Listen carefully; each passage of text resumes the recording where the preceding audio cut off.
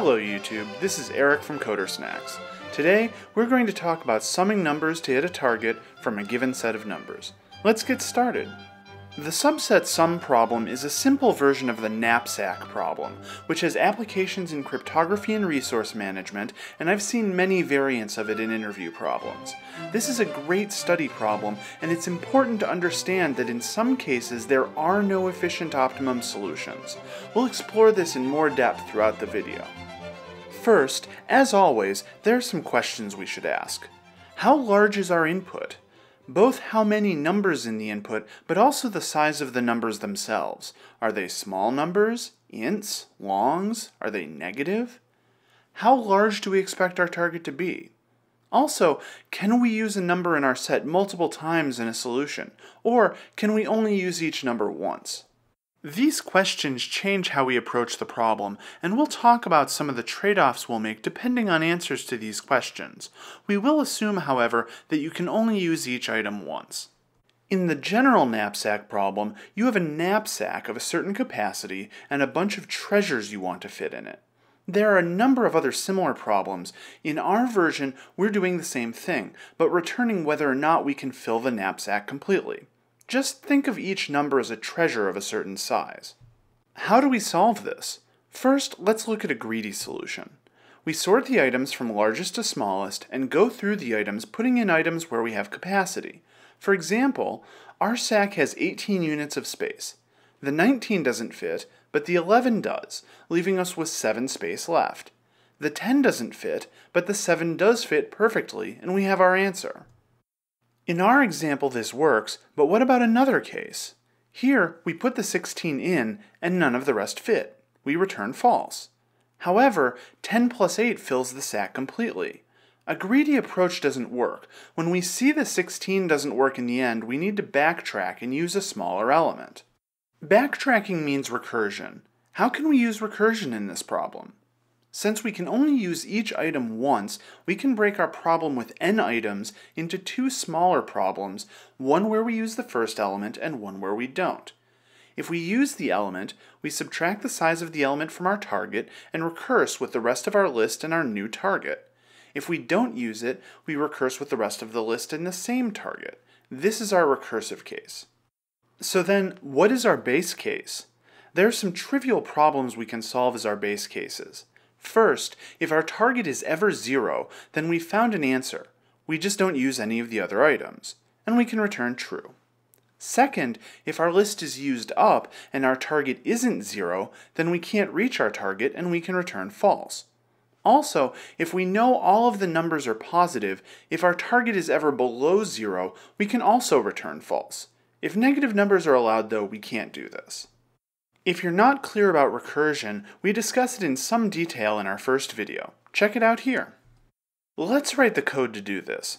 First, the base cases. If the target is 0, we're done and return true. If there aren't any numbers in the list, we return false, because if the target were 0, we would have already returned true. Then, for the recursive case, if either case, using the number or not, is true, we return true. Short and sweet. We add some test cases, and we see that we get the result we expect. As a small improvement, instead of using array slices, we can pass the index as an optional variable. This avoids making a lot of list copies. Our new code is as follows. Now, what's the runtime complexity of this code? For each item, we have two choices, whether we use the item or not. In each of those two choices, for the next item, we have two more choices. With two choices for every element, our runtime is O of 2 to the n. Can we do better than this? If we want to improve the runtime of a recursive algorithm, we should think about memoization or caching and dynamic programming. Let's think about caching. What arguments are we calling our function with? The numbers, the target, and the index of the element we're looking at. We should be able to build a cache with those arguments. How does caching save us effort here? If we reach the same target with the same number of items used in multiple ways, it will save us from having to recalculate the 2 to the n choices for the rest of the elements in examples like this.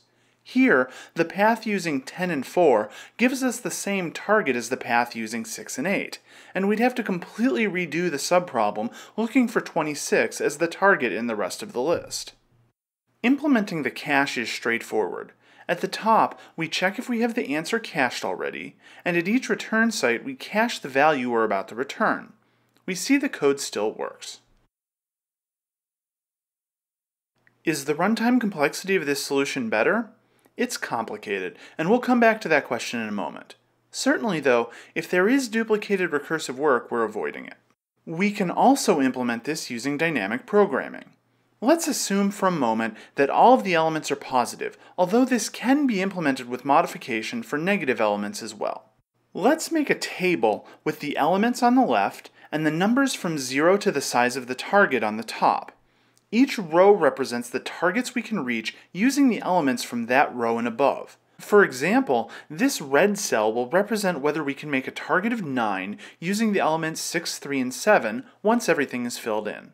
In the first row, we can only use the first element, so there are only two values set to true, 0 and the row corresponding to the element. We can only reach those two targets with this one item by using it or not. Everything else is false. We can't reach it. How do we fill in the second row? For each true in the first row, we mark true in the second row in two places, the same column and the column plus the value of the element in the row we're currently filling. Here, for example, for the true at 0, we fill in trues at 0 and 0 plus 3. For the true at 6, we fill in 6 and 6 plus 3, or 9 we can reach every size we could reach with the first item, and for each of those sizes, we could also use the second item and reach those values. To fill in the third row, we do the same thing with every true in the second row combined with the third element, and so on. We do this until we fill every row. At the end, if the target we want is true, the one in the bottom right representing the target we want with all the items, then we return true. Of course, we could shortcut this at any time if we see a true in the last column, since we could just not use any of the remaining items. Let's write some code to do this. We start by initializing our table and setting trues for 0 and the first number, if that number's in the table. Then, for each of our rows, we go through each column, and if we see a true, we set the next row true in the current column and our current column plus the next number, if that number's in the table. At the end, we return the value in the last column of the last row. This seems to work, but there's actually a bug in here. Pause the video and see if you can find it. The problem is when we initialize the first row of the table. We check to see if the element fits in the table, and we might think of the size of the target as the length of the row, but it's really one larger, since the list is zero indexed, and we have to include the target itself. This greater than is wrong. We need greater than or equal to. If we don't, if the first number in our list is the target, we get the wrong answer like this. Simple enough to fix though, we just add the equal sign. To make this a little easier to visualize, we'll temporarily add some code that prints the table out at the end of the dynamic programming step. If you'd like, pause the video and take a look at some of these tables. So what's our runtime complexity now? It seems like O of 2 to the n, because in each new row we could have twice as many trues to check, but there's a limit, the target size. If everything is already true, all we do is set everything in the next row to true. The complexity is O of n times k, where k is the size of the target and n is the number of elements.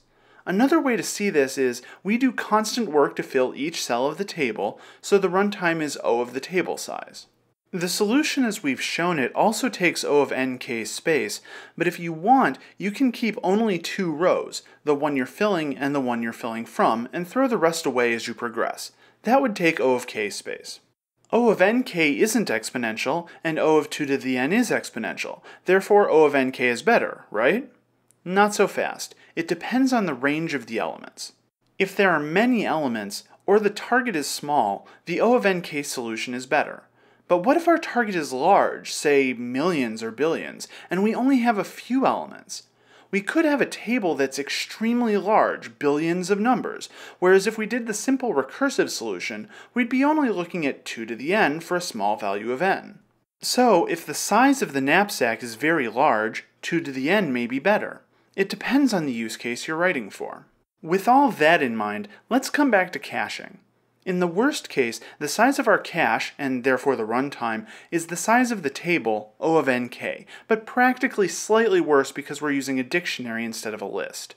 But what if the target is large with few items? In the DP solution, we'd have a table filled with falses, but the cache doesn't store values we can't reach in the recursion. In effect, it stores only the trues. We can get the best of both worlds a solution that is faster with many items because we're limited to O of nk entries in the cache, but that can be fast when the target is large because we don't store a bunch of falses. To illustrate this, I've made a couple of cases. One has 25 numbers but a smaller target, which would be bad for recursion. The other has a large target but only 10 numbers, which would be bad for DP. Neither of these has a solution, so both solutions take the longest possible amount of time.